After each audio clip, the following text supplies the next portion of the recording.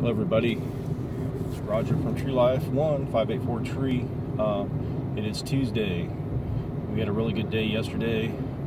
Um, we started off removing two bull pines and a couple cedars uh, that were rotten, and the customer wanted to take the whole tree line out, and we ended up just doing it all at once because it was less expensive to remove all the trees while we're there instead of having to pay um, an extra loader truck, extra days back and forth. So we gave a, a good discount on removing all the trees.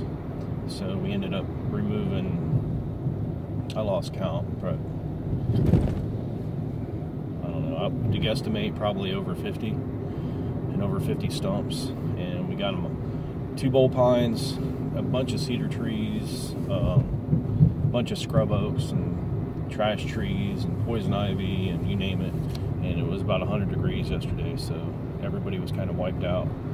But only had like two guys working, and uh, they ended up getting the whole job almost completely done. Uh, we're going back today to uh, do a little bit of raking, a few stumps we missed, and then uh, help with the loader pickup. Loader truck's coming today, so we also have another job scheduled because we didn't realize uh, we're going to add on all those add-ons yesterday, and uh, uh, we had a mishap. One of the limbs bounced and hit a two by six. So I had to go to Home Depot this morning and purchase a two by six, and I'm driving this little tiny car. So I just got a four footer. I'm hoping that that's long enough.